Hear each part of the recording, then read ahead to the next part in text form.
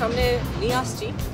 গিম্বেলের কিছু নির্দিষ্ট short cinematic looks দিতে গেলে গিম্বেলের মাধ্যমে কিছু নির্দিষ্ট শর্ট আমাদেরকে অবশ্যই নিতে হবে আপনার ফিল্মে টিভিতে স্ক্রিনে দেখেন বা প্রজেক্টরে দেখেন বা ফিল্মে দেখেন সিনেমা হলে দেখেন, তার মধ্যে যে শর্টসগুলো আপনারা ফলো করেন, তার মধ্যে একটি শর্টস হচ্ছে follow shots back side follow shot এবং ফ্রন্ট সাইড ফলো শর্টস তো আমরা এখন শুরু করতে যাচ্ছি ফ্রন্ট এবং back side follow shots the follow একদম সাধারণভাবে সাবজেক্টের সামনে থেকে একটি নির্দিষ্ট দূরত্ব বজায় রেখে সাবজেক্টের ভিডিও করলে লোকেশনটিকে খুব সুন্দর দেখায়। সাবজেক্টকে একদম সেন্টার পয়েন্টে রেখে খুব স্মুথভাবে পিছন পিছন ফলো করা হয়। এইভাবে বিভিন্ন অ্যাঙ্গেলে একই রকম শর্ট ও ভিডিও করা হয়। ওয়াইড ফোকাল লেন্থ ইউজ করে ভিডিও করা যেতেও পারে।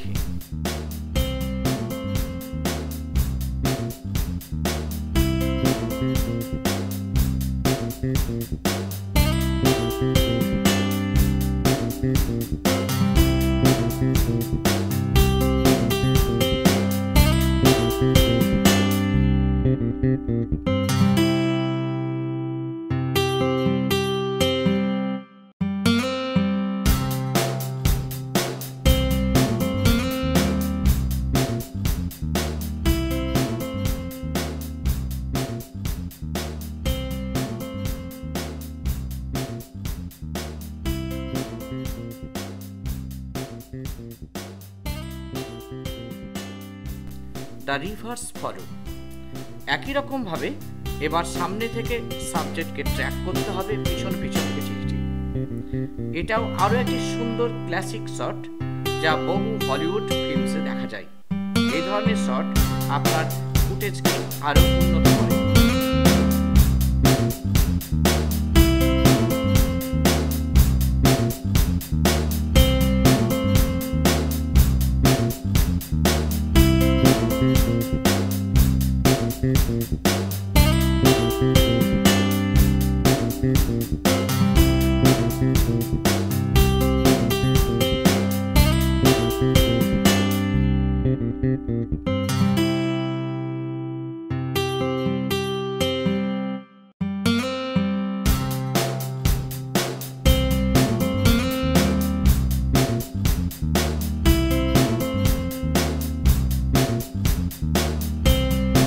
The side track camera person সাবজেক্টের পাশ দিয়ে সাধারণভাবে হেঁটে যাবে, কিন্তু ক্যামেরা সাবজেক্টকে একবার ডান দিক থেকে ফোকাস করবে এবং পরবর্তীতে আরও একবার বাম দিক থেকে ফোকাস করবে।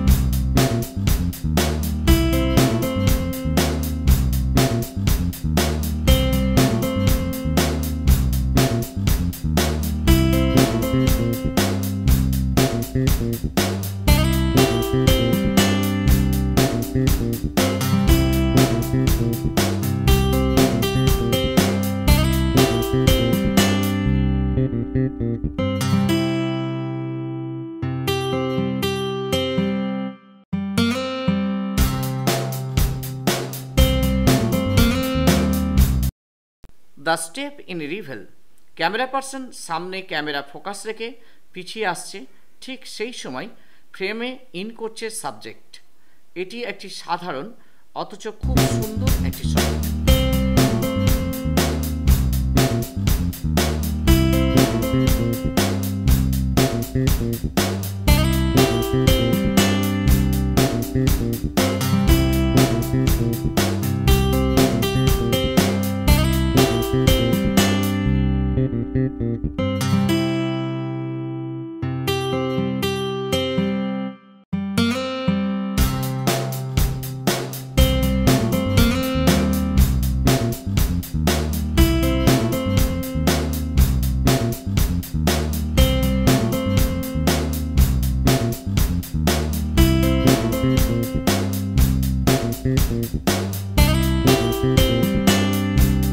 the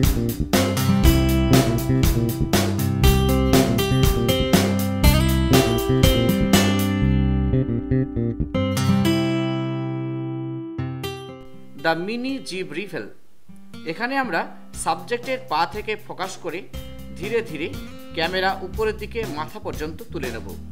এটি একটি আকর্ষণীয় শট যা পায়ের নিচ থেকে মাথা পর্যন্ত প্রতিটি অংশের ডিটেলস প্রকাশ পায়।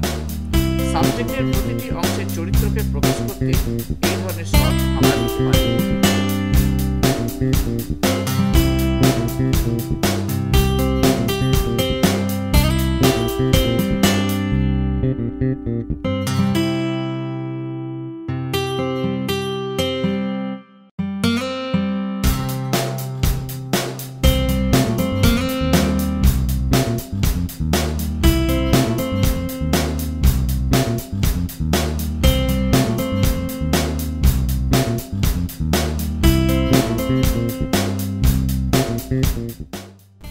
আমরা পরবর্তী ভিডিওতে আপনাদের দেখাবো দ্য চেস্ট ট্রানজিশন পরবর্তী ভিডিও সবার আগে দেখতে আমাদের চ্যানেল সাবস্ক্রাইব করে রাখুন, যাতে করে আপনি পরবর্তী ভিডিওটি সবার আগে দেখতে পান।